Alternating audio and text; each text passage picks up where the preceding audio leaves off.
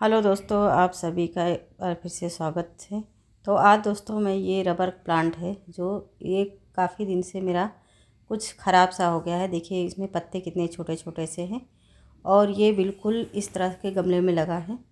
लेकिन इसमें शायद कोई कमी या परेशानी है तो ये ना तो बढ़ रहा है और ना ही इसकी पत्तियाँ, देखिए, कितनी छोटी छोटी सी निकल के आ रही है। और पहले आप मेरा वीडियो देखे होंगे शॉर्ट में तो उसमें काफ़ी ज़्यादा बड़े बड़े पत्ते भी हैं और जो ये ऊपर से कट आप देखेंगे तो यहाँ पर मैं दो कटिंग मतलब लगाई हूँ। और उसके बाद से पौधा इस तरह से हो गया है, ना तो इसकी ग्रोथ अच्छी हो रही है और ना ही इसके पत्ते अच्छे निकल के आ रहे हैं। तो आज मैं इसे, देखिए यहाँ पे मैंने कटिंग भी लगाई हूँ दो और आज मैं इसे दोस्तों करूँगी रिपोर्ट क्या परेशानी है इसमें कुछ समझ नहीं आ रहा है। तो ये दो, लगभग मेरा दो साल का पौधा है। और दो साल के बाद ये पहली बार इसे रिपोर्ट करने जा रही हूँ। पहले तो इसे मैंने जब नर्सरी से ली थी तो मैं इसी तरह से लगा दी थी। इसकी कोई भी मिट्टी नहीं हटाई थी। तो देखते हैं क्या प्रॉब्लम है इसमें, क्यों नहीं ये पौधा बढ़ रहा है। और इस तरह से तो पत्तियाँ नहीं होनी चाहिए। और देख सकते हैं गमला तो बड़ा है, लेकिन फिर भी ये पता नहीं क्यों ग्रोथ अच्छी इसकी नहीं आ रही है। तो और आज मैं इस गमले में लगाऊँगी ये बारह इंच का गमला है। और इसमें से निकाल दूँगी। हो सकता है अच्छे से कुछ इसका आ, मिट्टी नहीं है या खाद इसमें कमी है। इसी वजह से ये आ, बहुत अच्छे से ग्रोथ नहीं ले रहा है। तो देखते हैं क्या इसमें प्रॉब्लम है। तो अब मैं इसे कर देती हूँ रिपोर्ट। और इसे निकाल के देखती हूँ फिर इसमें पता चल जाएगा कि क्या परेशानी नीचे देखिए मिट्टी गिली है और ऊपर लग रही थी सूखी और इसमें भी देखिए जो मैं काफ़ी मुझे डर लगता है ना कि किसी नए पौधे को लगाने से और चिकनी मिट्टी इस तरह से देखिए, इसमें लगी रहती है। तो जब मैं कोई भी पौधा पहले लगाती थी तो चिकनी मिट्टी होती थी तो मैं नहीं निकालती थी क्योंकि इतने महँगे महँगे पौधे मिलते हैं और इसकी रूट्स देखिए, ये पूरी तरह से देखिए सड़ भी गई है। शायद ये चिकनी मिट्टी की वजह से। बिल्कुल ये देखिए रूट्स इसकी ख़राब भी हो गई हैं। ये देखिए, पूरी सड़ भी गई है कई जगह से। और इसी वजह से लग रहा है ये बढ़ नहीं पाया, बिल्कुल। और पहले मैं जितनी भी लेती थी, अब तो सारी जितनी भी चिकनी मिट्टी होती, कोई भी महीना, कोई भी मौसम होता है, मैं निकाल देती हूँ। और इसकी, ये मिट्टी हटा देती हूँ। और यहाँ पर मैं दूसरी मिट्टी रखूँगी। इसे बिल्कुल ही हटा देती हूँ। ये देखिए, ये जो मिट्टी है, इसमें धूप लगी हुई है। ये बारिश के पानी से भीग गया है। मैं मिट्टी बना लेती हूँ। ये देखिए, ये मैं जितनी भी इस तरह से खड़े खड़ी मिट्टी थी, इस तरह से तो मैंने इसे इस तरह से तोड़ ली है। ये देखिए। और अब मैं इसमें खाद दे देती हूँ। तो लगभग मिट्टी जितना है, उतना ही मैं इसमें खाद दे रही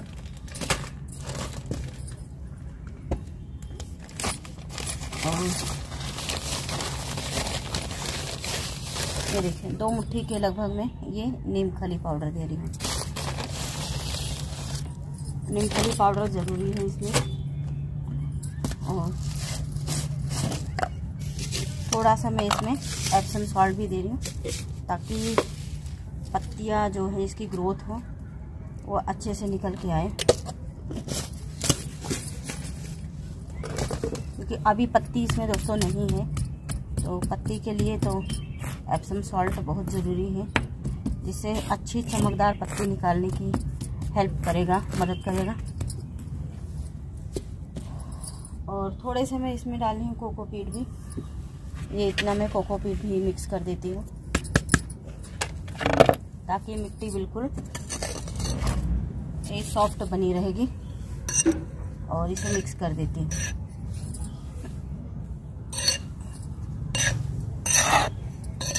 देखिए दोस्तों, ये मिक्स कर ली हूँ। और वैसे तो ये पुरानी मिट्टी है। और ये थी बिल्कुल भुरभुरी मिट्टी है। इसमें सैंड वगैरह सब मिक्स है।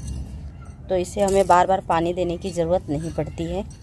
और एकदम से देखिए मिट्टी और ज़्यादा हल्की भी हो जाती है। गमला भी इसी तरीके से हमारा हल्का हो जाता है। तो इसी वजह से मैं कोकोपीट इसमें मिक्स कर दी हूँ। तो ये देखिए, यहाँ पर मैंने ये इस तरह से पत्थर रख दिए हूँ गमले में। और अब मैं इसमें डाल देती हूँ मिट्टी। और ज़्यादा खाद दोस्तों नहीं दी हूँ। वर्नी कंपोस्ट इसके लिए बहुत ज़्यादा अच्छा खाद है। और वर्नी कंपोस्ट ही ज़्यादा इसमें और कोई खाद की इतनी खास ज़रूरत नहीं होती है। बाकी जो अभी तो पूरा गर्मी का टाइम पड़ा ही है तो हम इसे टाइम टाइम पर लिक्विड फर्टिलाइज़र वगैरह तो देते ही रहेंगे। तो देखिए, इस तरह से मैंने इसमें रख दिया है।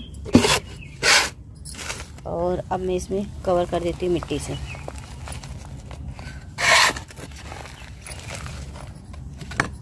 देखिए इस तरह से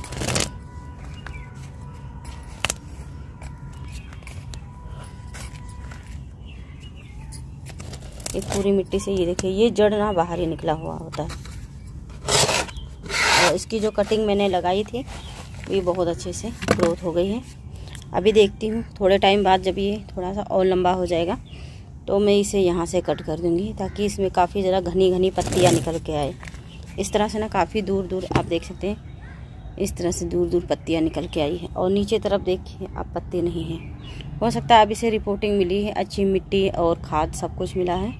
तो ये आगे चल के हो सकता है, यहाँ से भी जो इसकी नॉट एरिया बनी हुई होती है ना तो यहाँ से ये चाहे निकल के आए। देती हूँ पानी, और जैसी भी इसकी अपडेट होगी, मैं आप सभी के साथ शेयर करूँगी। और इसे रिपोर्टिंग के बारे में, जब तक इसमें नई ग्रोथ दोस्तों नहीं आएगी, तब तक मैं इसे बिल्कुल छाया वाली जगह पे रखूँगी। बिल्कुल धूप में कहीं भी नहीं रखना है। तो इसे मैं अपने बालकनी में ही रखती हूँ। बालकनी में उठा ले जाऊँगी। वहाँ पर धूप बिल्कुल नहीं होती है। तो जब तक इसकी ग्रोथ अच्छी नहीं होगी जब तक इसके अच्छे से पत्तियाँ बहुत सारी बड़ी बड़ी जिस तरह से पहले से थी, उस तरह से जब निकल के आ जाएगी तो मैं आप सभी के साथ वीडियो शेयर करूँगी। अपडेट भी इसकी दूँगी, दिखाऊँगी भी। तो चलिए बस यही था। रिपोर्टिंग हो गई। मार्च का महीना है। और आज जल्दी की होती तो ये और जल्दी मतलब इसकी ग्रोथ पत्तियाँ सब अच्छे तरीके से हो निकल के आती। तो बस दोस्तों यहीं तक था वीडियो। कैसा लगा आपको बताना ज़रूर। अच्छा लगा हो दोस्तों तो लाइक करना। नए हो सब्सक्राइब कर देना। चलिए मिलते हैं फिर अगली वीडियो में। तब तक के लिए बाय बाय